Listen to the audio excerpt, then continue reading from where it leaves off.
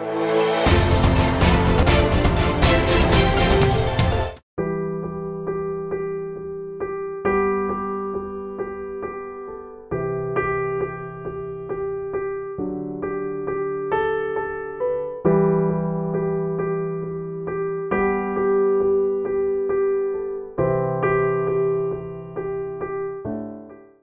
नमस्कार, आप देख रहे हैं नेशन न्यूज़। मैं हूँ आपके साथ खुशबू सांगवी। केंद्रीय मंत्री रामविलास पासवान के निधन के बाद पूरे देश में शोक की लहर है।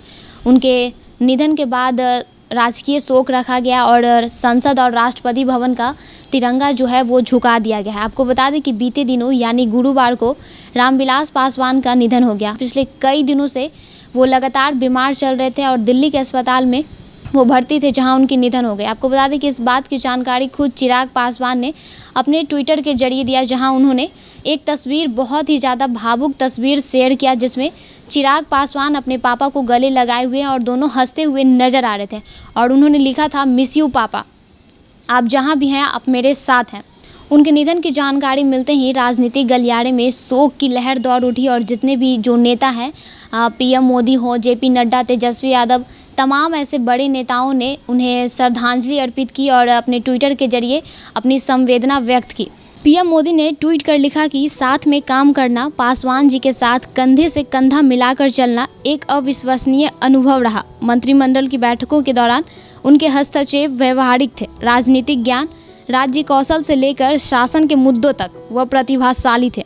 उनके परिवार और समर्थकों के प्रति संवेदना, शांति। इसके आगे उन्होंने दूसरे ट्वीट में लिखा कि रामविलास पासवान जी ने कड़ी मेहनत और दृढ़ संकल्प के ज़रिए राजनीति में कदम रखा। एक युवा नेता के रूप में उन्होंने आपातकाल के दौरान अत्याचार और हमारे लोकतंत्र पर हमले का विरोध किया।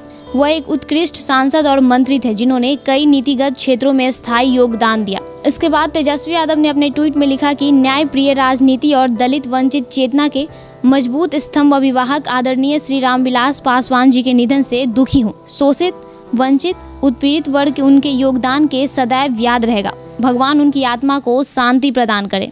रामविलास के पार्थिव शरीर को पटना एयरपोर्ट आज तीन बजे लाया जाएगा, जहाँ उनके जो पार्थिव शरीर है, पार्टी कार्यालय में रखा जाएगा और जितने भी वहाँ कार्यकर्ता हैं और जो तमाम नेता हैं लोजपा के वो संवेदना व्यक्त करने के लिए वहाँ मौजूद रहेंगे। और जानकारी यह भी मिल रही है कि जो रामविलास का पार्थिव शरीर का जो अंतिम संस्कार है, वो पटना के घाट में ही किया जाएगा। तो ऐसे ही तमाम खबरों के लिए बने रहिए नेशन न्यूज़ के साथ। नमस्कार।